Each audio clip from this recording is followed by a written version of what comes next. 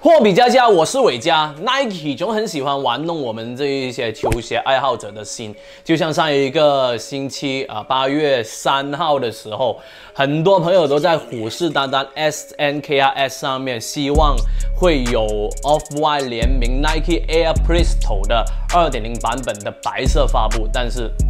并没有，什么都没有。不过呢，这双鞋子呢，在其他地区呢、其他国家呢，已经发售了。我也是通过了朋友去拿到了一双。嘿，今天呢，就来跟大家做一做测评，做一做开箱。其实已经开了。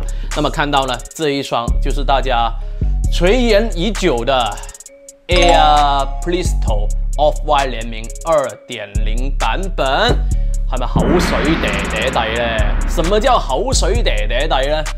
最后的时间告诉你。喜欢我节目的话，记得关注我的账号。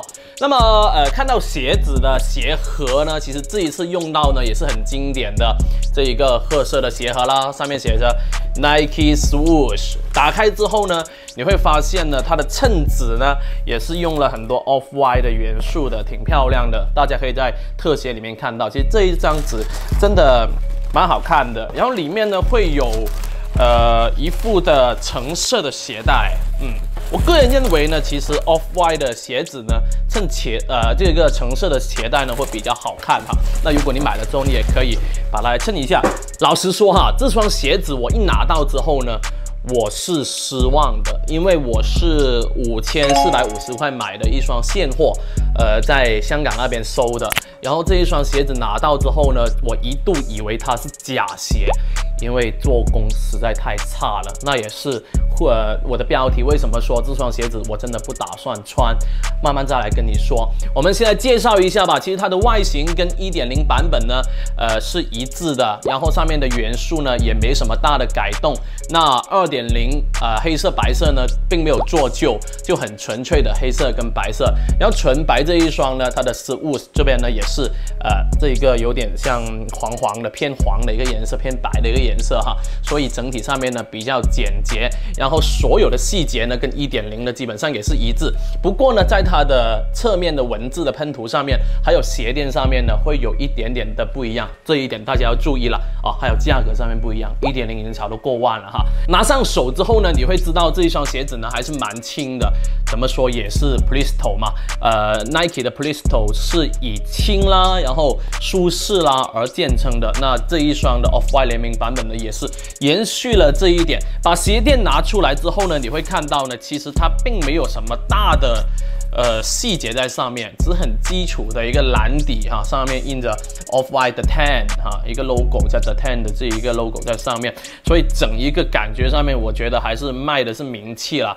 呃，设计上面没有什么太过亮眼的地方。如果你喜欢白色的，可以去买一下。不过我个人来说，还是不太建议买的。为什么呢？呃，有好几点的原因。第一。这一双鞋子，我觉得溢价有点过高了。现在五千多买，我还是觉得比较贵。如果说三千块还可以接受一下。第二，这双鞋子太容易脏了。你看这个白色，尤尤其是这个鞋面，这种编织物的这种鞋面呢，一旦你沾染了一点颜色在上面的话，它是完全洗不掉的。所以在网上面有一些朋友呢，干脆把它来做一个扎染的一个技术。你看一下，啊，这个感觉可能还更好一点。那如果你舍得的话，你也可以进行扎染。第三点，我觉得这双鞋子，它整一个鞋面啊，就有违了 p r i s t o 的，呃，这一种鞋面非常流线型、非常窄、非常修长的感觉，变得非常的宽。我总觉得穿上去会变得很奇怪，脚好像变得非常的宽，前脚掌，这是我不太喜欢的一点。然后第四点，可能就是它的做工了，大家可以看一下特写啊。啊，这里的溢胶啦，然后虽然说这边是没有进行这个缝线处理，但还是真的很粗糙。然后还有一点，我发现了它在它的呃鞋垫内侧啊，呃就是在这一个位置哈，鞋尖这里呢内侧就里层那里的一些材料呢，会有阿拉伯数字写的二啊、三啊、七啊这些标记。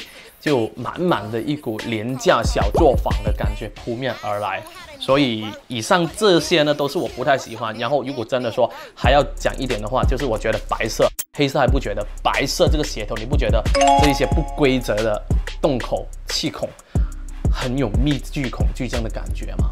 那所以这双鞋子我是不会打算穿的。如果有朋友喜欢的话，我会转手给朋友吧，啊，留给真的喜欢的人。那最后来说一下刚才说到的口水得得得，可能很多朋友还在等这双鞋子的发售哈，很多人都在守望着，都在口水得得得。嗲嗲嗲在广东话里面呢，是形容水流的声音、水流的状态，一直流下来状态。那口水嗲嗲嗲就是一直在流口水的意思啦。不过我认为，呃，如果你喜欢，可以真的去关注一下。纯粹只是为了说炫耀一下，或者说，哎，我拥有这个东西就 OK 的话，我觉得可能还会有更加好的选择。不过最好还是上起来看一下吧。